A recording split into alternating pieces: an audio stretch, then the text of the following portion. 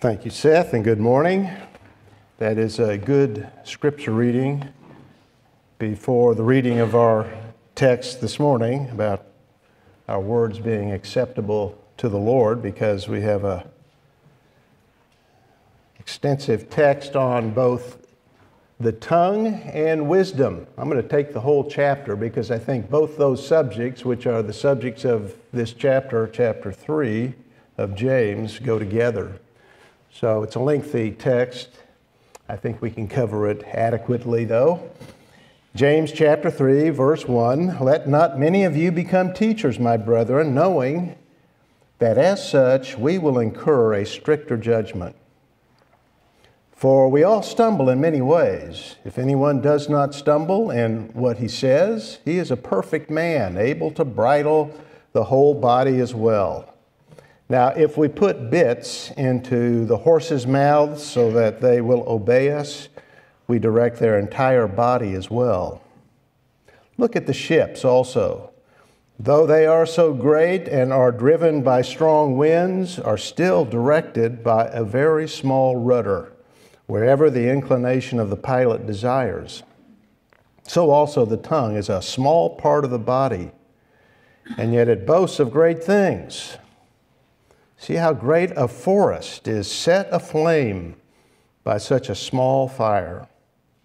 And the tongue is a fire, the very world of iniquity. The tongue is set among our members as that which defiles the entire body and sets on fire the course of our life and is set on fire by hell. For every species of, of beasts and birds, of reptiles and creatures of the sea is tamed and has been tamed by the human race. But no one can tame the tongue.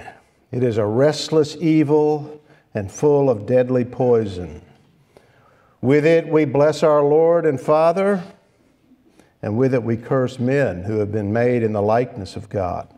From the same mouth come both blessing and cursing. My brethren, these things ought not to be this way.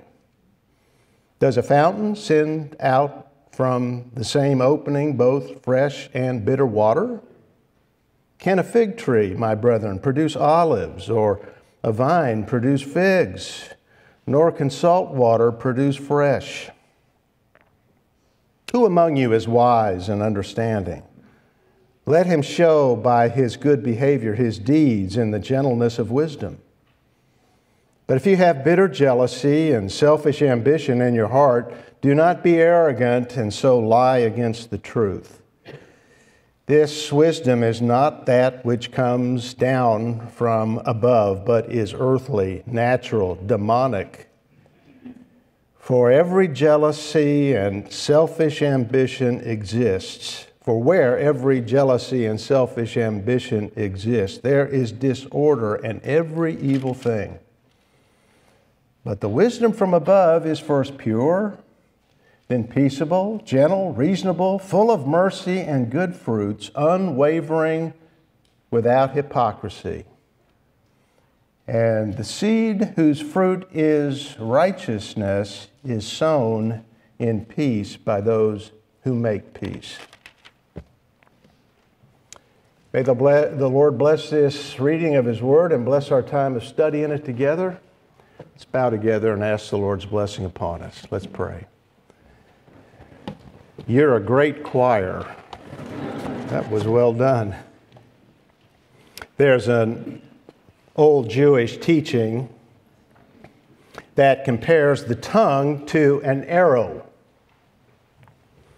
And one day a student asked his rabbi, why not another weapon?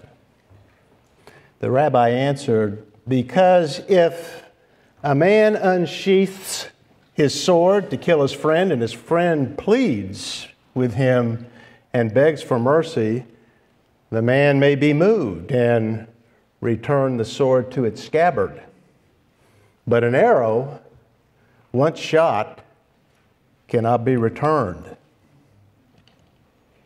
The Bible has a lot to say about the power of speech for good or evil, and James 3 is the classic text on the subject of the tongue. Like the rabbis, James recognized its potential for evil as well as good. What they called an arrow, he calls a fire, the very world of iniquity. That's his first subject in chapter 3, the tongue, followed by a second, which is wisdom. The need to control the tongue and practice wisdom.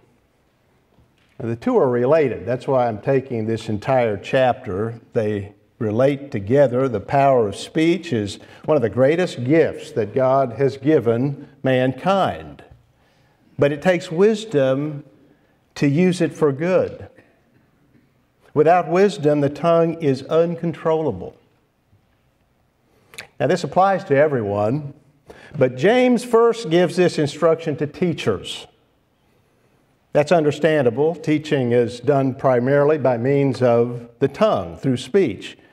Knowing the responsibility of teaching and the danger of the tongue, James gives a warning. Let not many of you become teachers, my brethren, knowing that as such we will incur a stricter judgment. That statement reflects the nature, or maybe better, the structure of the meeting of the early church. It was open to men in the congregation to speak, and if you're familiar with the the service that follows this one, then you know that's what we practice here. In fact, we see that very clearly taught in 1 Corinthians 14, verse 26. When you assemble, each one has a psalm, has a teaching, has a revelation. Let all things be done for edification. So if someone wanted to teach, he had the opportunity to do that. And often people want to do that, but often it's not, or I shouldn't say often, but sometimes it's not always from the purest motives. Sometimes from conceit and a desire to be up front. Now, I want to say I haven't noticed that in our congregation. In fact, it seems to me since we've moved that service to the morning, uh, I can say for myself, I've been blessed greatly by the older men who speak, and many of the younger men, all of the younger men that I've heard speak have done an excellent job.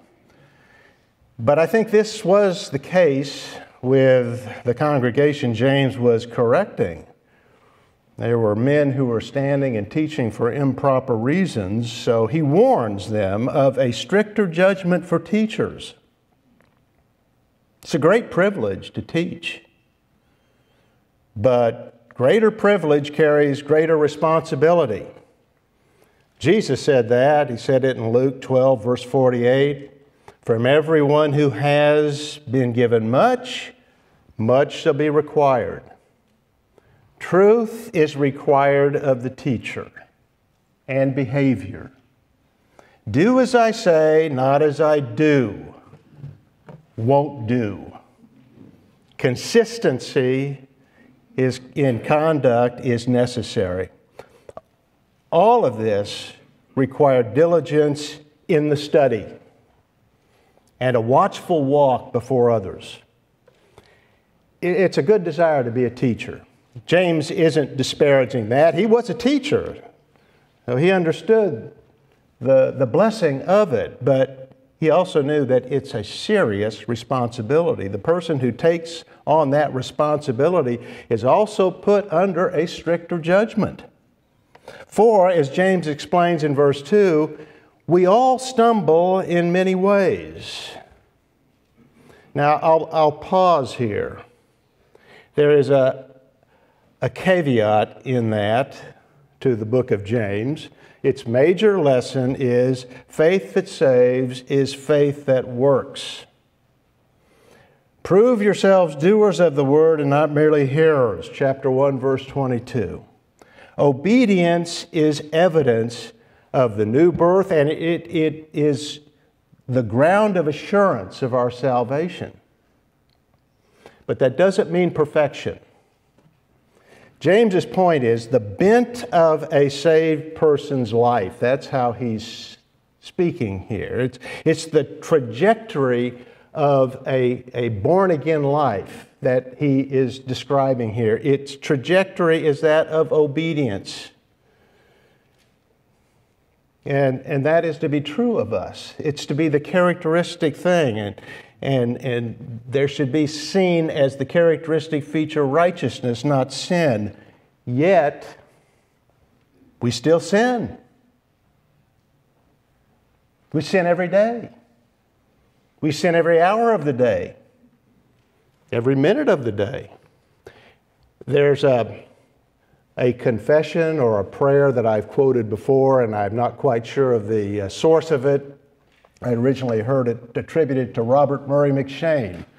And I've read it uh, as attributed to someone else, but it's very simple. It's, I even repent of the tears of my repentance.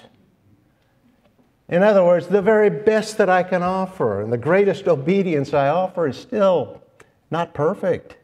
There's sin in it, and so it is in our life. Saints are, as the reformers put it, righteous sinners.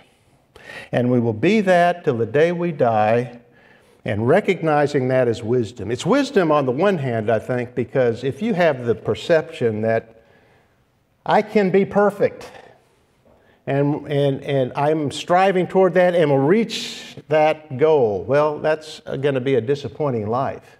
We should strive toward that, but we need to realize we will never be perfect in this life. And if we have that, that assumption, then we're going to be discouraged and disillusioned. No, we're sinners, and that is the reality that we will deal with to the day we die. But another reason, and I think the real point that James is making here, is we need to realize, and this is part of wisdom, that the world is full of temptations that are like stumbling blocks. And often, James says, we stumble you stumble over these stumbling blocks and into these pitfalls. That's true of all of us, but especially the teacher needs to know that because the tongue is particularly prone to this kind of failure. Now, that's the tool of the trade of the teacher to speak, but it is hard to manage. So, James says if anyone does not stumble in what he says, he is a perfect man, able to bridle his whole body as well. And you say, well, wait a minute, just said you're perfect. What he means by perfect there is not sinlessness, he means maturity, a complete person. The tongue is a window on the soul. What we talk about and how we talk about others reveals a lot about a person, whether he or she is mature or immature, godly or worldly, trustworthy or two faced. In verses 3 and 4, James gives two illustrations from daily life to emphasize the importance of controlling the tongue. The, the first is from controlling a horse, and the second is from navigating a ship. Verse 3 Now, if we put bits into horses' mouths so that they will obey us, we direct the entire body as well. A small thing like a bit can control the strength of a powerful animal like a horse. It's the same with a ship. They could be large in ancient times. Merchant ships were uh, capable of carrying 276 passengers, besides a large cargo. And, while they were propelled by strong winds filling their, their uh, sails, still, James says, they are directed by a very small rudder a bit in a horse's mouth, a small blade in the water do big things. And James says in verse 5 so also the tongue is a small part of the body, and yet it boasts of great things. Now, the boasts are not all empty. The tongue is a great blessing. It's small, but it can direct crowds and nations in the right direction. We have a good example of that in, in Acts chapter 19 when the silversmiths of uh, Ephesus became angry with Paul for ruining their business the, with the gospel. These are the men that made little silver shrines to the goddess Artemis or Diana. And Paul comes to Ephesus and he begins preaching, and it's a, a, revival spreads throughout the city, in fact, throughout the entire province of Asia and the great cities of that province. And people were converted, and they began to throw away their books and their amulets and idols, and it was affecting the trade of the silversmiths. And so they made a great demonstration. They filled the theater. They cried out, Great is Artemis of the Ephesians. And they were on the brink of rioting and destroying things and hurting people when the town clerk diffused the situation with calm words of reason, brought order to everything. Historians like to talk about Franklin Roosevelt's fireside chats as attributing that to reassuring the nation during great, the Great Depression. Winston Churchill, a master orator, inspired England, first uh, Parliament and then the nation, with his speech about blood, toil, tears, and sweat as they faced the Second World War.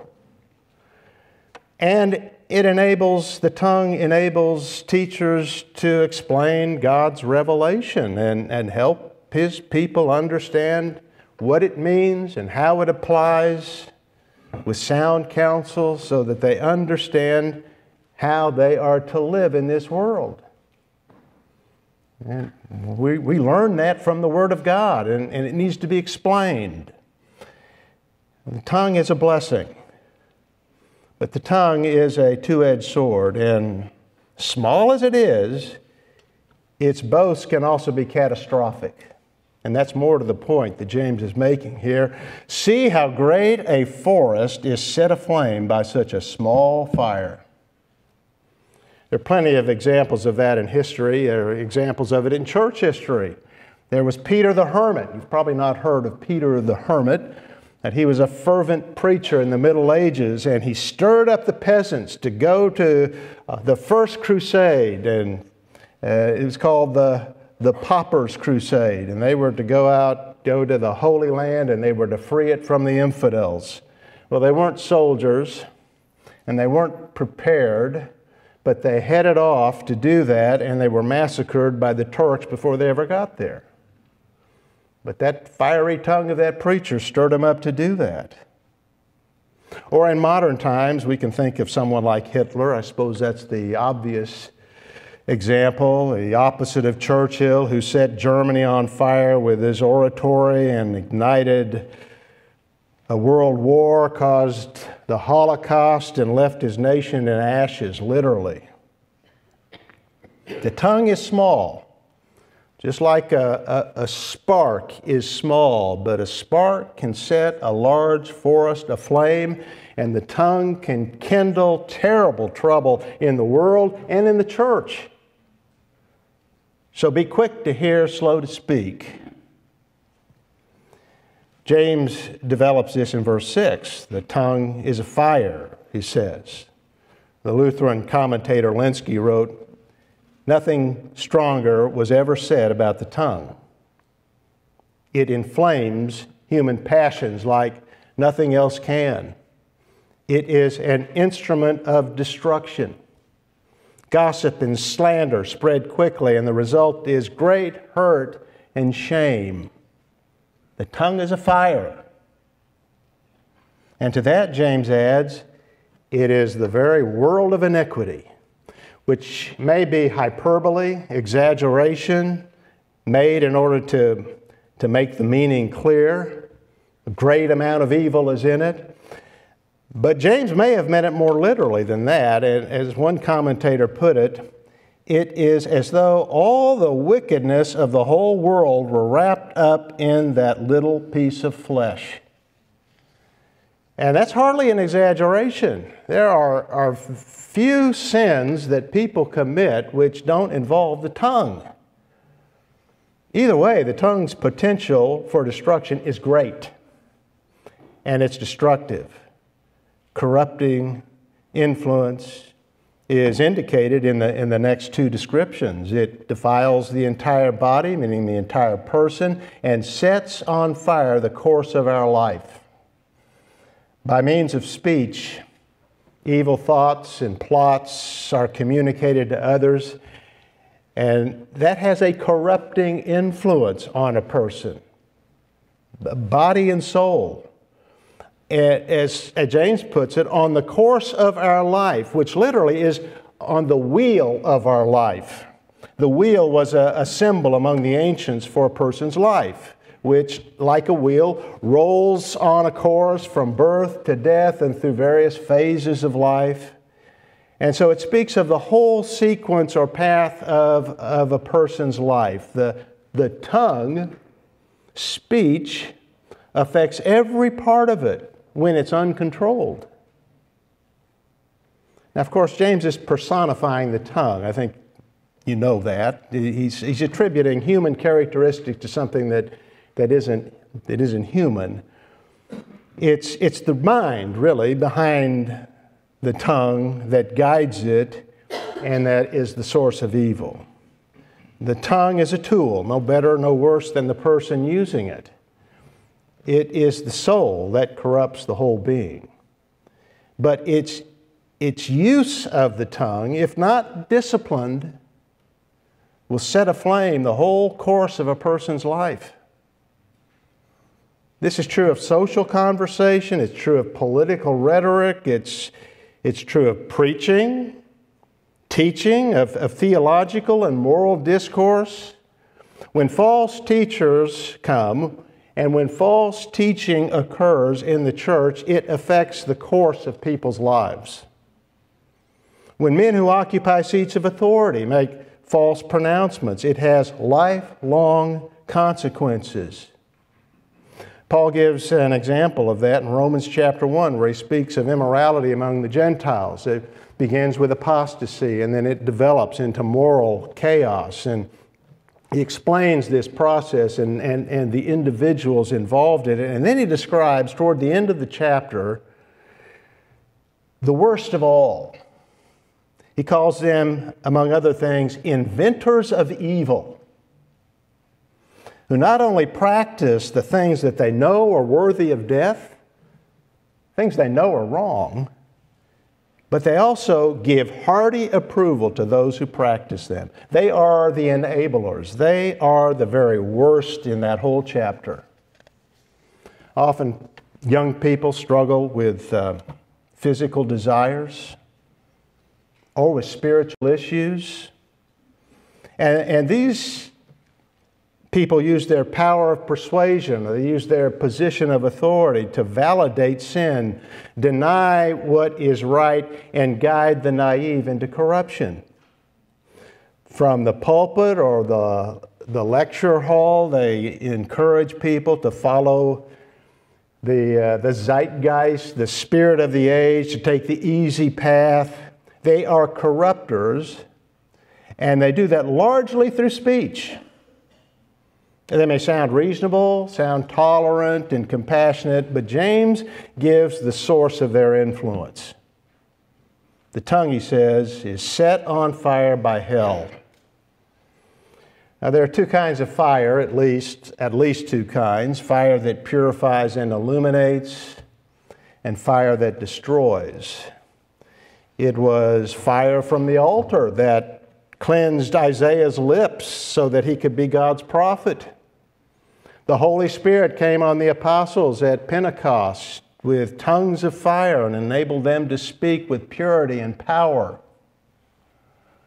The eyes of Christ are described in Revelation chapter 1 verse 14 as being like a flame of fire, referring to the, the purity of his vision, that he sees clearly, he will judge perfectly, he will cleanse the world. But the opposite fire, what, what James is referring to here, is impure and inflames passions. It is satanic, set on fire by hell, meaning it permits itself to be influenced by evil. There's no greater example of that than the serpent in the garden, whose tongue was used by Satan to soothingly encouragingly, deceptively sway Eve against the Lord God who loved her, cared deeply for her, infinitely for her, and had a glorious plan for her.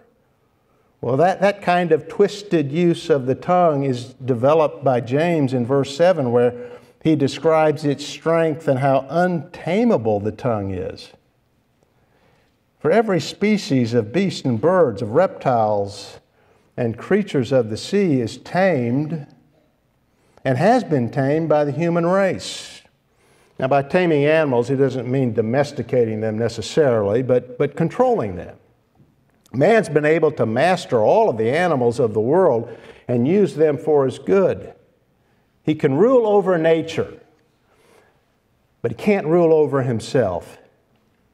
He's fallen and he can't master the tongue. Verse 8 We can tame lions, but no one can tame the tongue. It is a restless evil full of deadly poison. By the grace of God, all things are possible. But humanly speaking, by ourselves, no one can tame the tongue. At some time or other, the best of us put our foot in our mouth. Well, I do. Sorry. I try, but it happens. Those are the, um, the unintended embarrassing statements which uh, show that we always need to be on guard. But this is more nefarious, what uh, James is speaking of, of here, more like the adulteress whose lips drip honey, according to Proverbs 5. It is a restless evil, James says. It is constantly prone to break out in wicked words. It is, it is pictured as an animal, continually pacing, never, never resting, full of poison, he says, like a, like a serpent ready to speak, ready to, to strike. And so you get the impression as he's, he looks at the tongue, it's like a serpent in someone's mouth, and it's just ready to strike out. Now again, it's, it's not just it's not just poison in the tongue. Now, earlier, James recognized the tongue's usefulness. And he does that in verse 9, but it's inconsistent. It is double dealing, which, which shows its perversity. With it, we bless our Lord and Father, and with it, we curse men who have been made in the likeness of God. And here, James recognizes that the tongue is not the real culprit. It's only the instrument of sin, it's the, the tool of the heart or the mind and it reveals the real nature of the human condition, which is a, a kind of Jekyll and Hyde personality, a model and then a monster, blessing God on the one hand, then cursing men on the other. God should be blessed and praised, and blessed as Lord and Father. The two titles are glorious. They speak of God's majesty and His love. They speak of, of His sovereignty and His grace, and we should be praising Him in that way all the time. It was customary for pious Jews to do that when speaking of God, to, to add the word, the words, blessed be He, after they had made reference to Him. And James would have seen a lot of that in Jerusalem, but he also witnessed in those same people a different personality when, when they came to people whom they, they didn't respect, they didn't like, whom they cursed in a moment of anger or disrespect. He, he wasn't referring to Paul pronouncing an anathema on men who perverted the gospel. We read about that in our earlier studies in Galatians, in Galatians chapter 1, verses 6 through 9. He's not referring to that. James was referring to people who cursed others out of prejudice and bitterness. The uh, contradiction is that those who cursed are those that they are cursing are people created in the image of God. And so to treat man with disrespect, to belittle him who is in the image of God, is in a sense to impute dishonor to God by dishonoring the image of God. In John 7, verse 49, the religious leaders slandered the crowd that was following Christ, describing them as ignorant of the law and accursed. And we have our own ways of doing that as well. James rejects such behavior. And in verse 10 says, My brethren, these things ought not ought to be this way. It's a gentle rebuke. He recognizes human frailty and that as he said in verse 2, we all stumble. Nobody's perfect. But still, it is wrong. He calls them brethren. He's talking to those he assumes and believes are genuine believers, and he's giving this correction. Because we all fail in these ways. But such conduct for a Christian is inconsistent with the life that the brethren have, that believers have, that we possess. The life that we possess is different from that. When it happens, it arises from the sin that is in us, what, what Paul speaks of in Romans chapter 7, that defeats him. Speaks of it also in Galatians chapter 5, the war between the flesh and the spirit. It is an inconsistency that is impossible from the Holy Spirit and the new nature that Christians have. And to, to make that point, that this is a gross inconsistency and shouldn't be in our lives, he illustrates it from nature again in verses 11 and 12. Fresh water and salt water can't flow from the same source, from the same spring. Fig trees don't produce olives, vines don't produce figs. Nature is completely consistent. It's governed by natural laws that prevent inconsistency. So, how much more ought we with a new nature, new hearts, possessed of the Holy Spirit, how much more ought we to be consistent with this new life that we have? Well, broadly, James was saying, prove yourselves doers of the word and not merely hearers. And he's applying that narrowly here to the use of the tongue. Use it to honor the Lord God, not dishonor him. But again, it's difficult. It's difficult to do. We all fail. That's why James gives this next lesson to speak well, we need wisdom.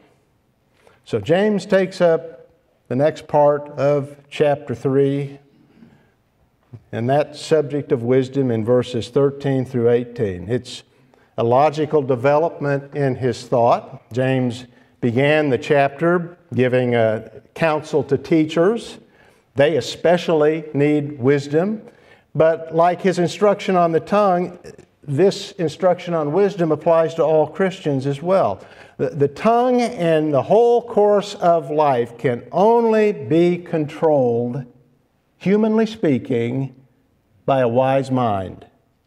And James here contrasts two kinds of wisdom godly wisdom and worldly wisdom begins in verse 13 Who among you is wise and understanding? it is essential that we be both wise and understanding. Wisdom can be defined very simply as skill in living. While understanding is knowledge, it's, it's knowing the facts and the truth of Scripture, it's knowing the meaning of Scripture. Whether it's a teacher or not, all of us need to possess those two things wisdom and knowledge, knowing and understanding the meaning of Scripture and how and when to apply it, and then do it. We're to strive for that. James is laying down a challenge here. He asks, Who has it? Well, then do it if you have it. It's not enough to possess it. We must practice wisdom. Otherwise, it's as worthless as faith without works. So he says to the one who professes to have wisdom, tells him to prove it. Let him show by his good behavior his deeds in gentleness of wisdom.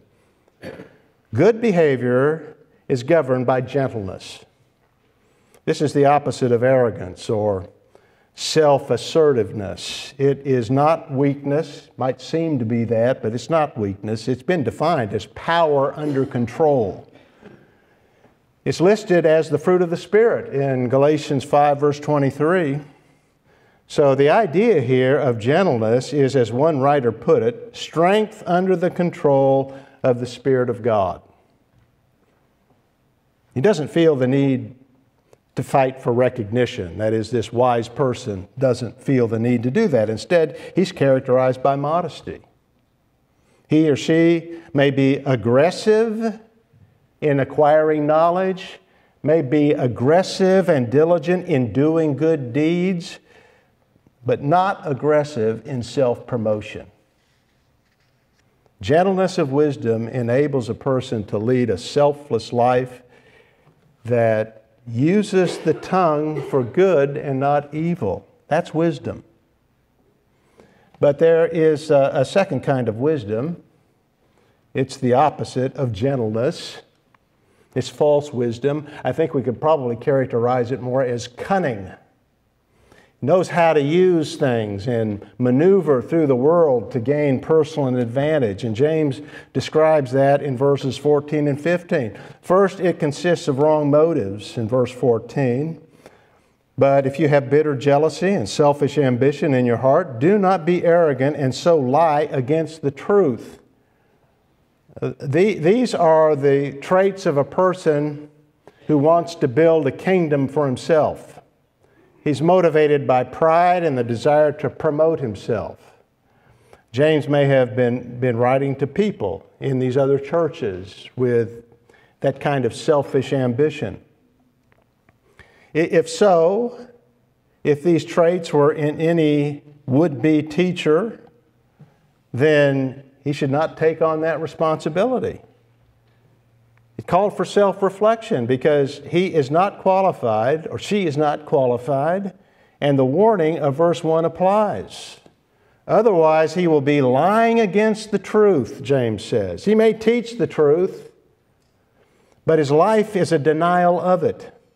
His life, his actions, his motives repudiate the very truth that he's teaching, and in time that becomes known. These things are revealed. James called this wisdom, but I think he was being charitable when he did that or sarcastic. And while that probably goes without saying, he makes it clear in verse 15 where he identifies the origin of this wisdom and, and character. This wisdom, he writes, is not that which comes down from above, but is earthly, natural. It's not divine wisdom, it's worldly wisdom natural wisdom. It's short sighted. It's all about the temporal, not the eternal. It's all about self and not others, not about God. In fact, more than that, he says it's demonic. James saw the work of demons in that kind of uh, wisdom because it was selfish and it was disruptive of the work of the church. And I think that's how it can be and will be known. Thoughts and motives are hidden. In fact, we're not even sometimes clear about our own thoughts and motives, but they can be identified by results, by bad results. As I said, these things, these motives become known. For where jealousy and selfish ambition exist, there is disorder and every evil thing. That word disorder was often used of anarchy and political turmoil. James was aware of that in the church. He saw it in the church of Jerusalem, the divisions that took place there over the law. He experienced strife in the, that church and he saw ministries split because of jealousy among people and leaders.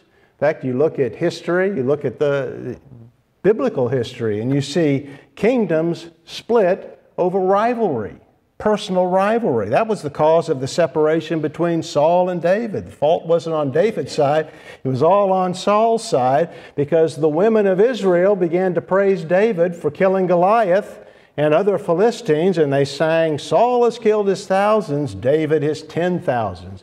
and that enraged Saul. That may have been the problem in uh, Philippi. And the reason Paul wrote that book to the Philippians because there was a, a, a, falling out between the two women, Euodia and Syntyche. Paul refers to it in Philippians 4 2. I have the sense that that was the reason he wrote the book because he has so much to say there about humility and denying self and emptying oneself. There's always this danger of rivalry among us, among Christian workers and friends.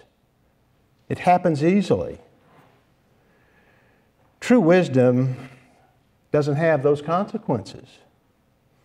In verse 17, James returns to that wisdom which he describes as wisdom from above, then describes it with seven characteristics. I'm not going to develop these, just read them in verse 17. But the wisdom from above is first pure, then peaceable, gentle, reasonable, full of mercy and good fruits, unwavering, without hypocrisy. It's first pure. It's clean of all the vices in the previous verses. It's free of jealousy. That, that is first, James says, meaning it's basic to all that follows. Because the source is pure, the stream is good, so to speak. And the results of that are pleasant. James says they're peaceable. That's the result peace. And, and that, that second characteristic of wisdom, that it is peaceable, is where James ends his lesson here in verse 18. And the seed whose fruit is righteousness is sown in peace by those who make peace. That's what real wisdom produces. So if it rules the tongue, then the tongue will be controlled and won't be set on fire, and it won't divide. That's important to have wisdom, isn't it? We all want wisdom. How do we get it? It's very simple, I think. Very demanding, but very simple. We get it through study, we get it through prayer, we get it through obedience. We get it through study. We get it by knowing Christ, knowing about Christ, and knowing Him personally. Isaiah described Him in Isaiah 9, verse 6, as the wonderful counselor. He's the wonderful counselor for you. We're to live in fellowship with Him. And as we do, we find our model and our law. And as we see Him in Scripture and as we apply ourselves to Him, we become like Him.